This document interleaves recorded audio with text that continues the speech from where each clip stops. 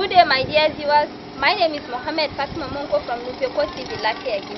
Nupeko TV snippets of interview with Alhaji Tajudeen Abdulkadir Audu, FCA Makama Lafiagi, on politics, good governance, and national security.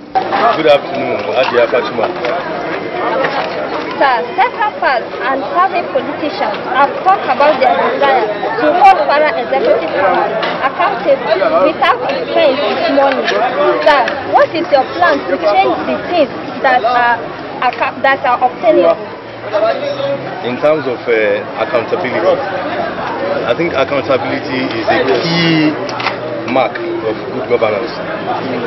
If you don't have accountable leadership, you can't have good governance. So I think uh, it's something that we all have to come together, both the electorates and those elected, to ensure there is accountability. And one thing that goes with accountability is the need for transparency. Because if people don't know what is going on, it's very difficult to hold the people in leadership to be accountable. In your previous role as chartered accountant, what have you been able to adopt differently? Well, uh, as a chartered accountant, I think uh, one of the hallmarks of being an accountant, a professional accountant, is to abide by the key words of accountability and transparency because that is what accountants are trained to, to have. And uh, for the Institute of Chartered Accountants in Nigeria, the key word is integrity. Because both accountability and transparency can only be assured when you have people of integrity. So as an accountant, I think it's very important. That we You have put, Yes, they are all you have put uh, approximately 200 million naira in your political career for campaign. Should politics only be accessible or to who can afford it? I don't I don't know who told you that 200 million naira is a huge sum of money. And uh, I don't think politics these days should be about how much you spend. Though we know politics is generally all over the world is expensive. But I think you don't need to spend a lot of money because with people like you that are making sure that information is freely available to people. I think it's important that we play down on the use of uh, money in politics. So I don't think we should be emphasizing how much you spend. But we should rather look at people that have things to offer.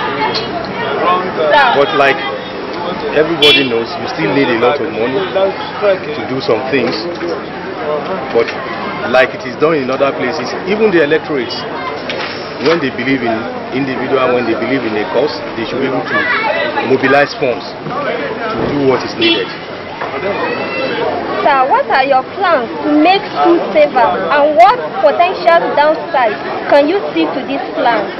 Well, I don't know why you ask me this question.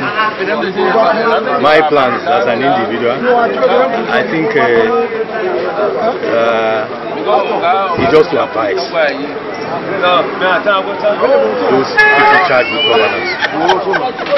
As you all see, security is very, very important. And without peace and security, you can't have any reasonable development. These days now, our people are predominantly farmers. But people who are not even afraid to go to the farm, to go down inside the, in, in the, uh, the bush to farm. So security is very, very important and I want to advise those that are charged with governance to make it a keyword. And one of the things that will make sure there is security ensure that there is good, good governance and also and also to ensure that there is justice. is apprehended for any reason, the law should be allowed to take its course. Sir, what are the highlights of your career so far? Well, the highlight of my uh, career is uh, as a professional accountant, I've been able to make my own contributions to national development. As I speak to you, I'm the current auditor for the Nigerian oil and gas industry. You know, under the national extractive, the Nigeria extractive uh, industry, uh, extractive industry transparency initiative, whereby we ensure that revenues collected by the government from the oil companies are reconciled and transparently disclosed. disclosed. So that is, uh, for me, it is something that I feel proud to be able to uh, do for Nigeria. You know, apart from that, I've also been engaged in a lot of uh, revenue consultancies for various levels of government. So I think in my own little way, I've been able to make a lot of uh, contributions to national development. Thank you. Thank you.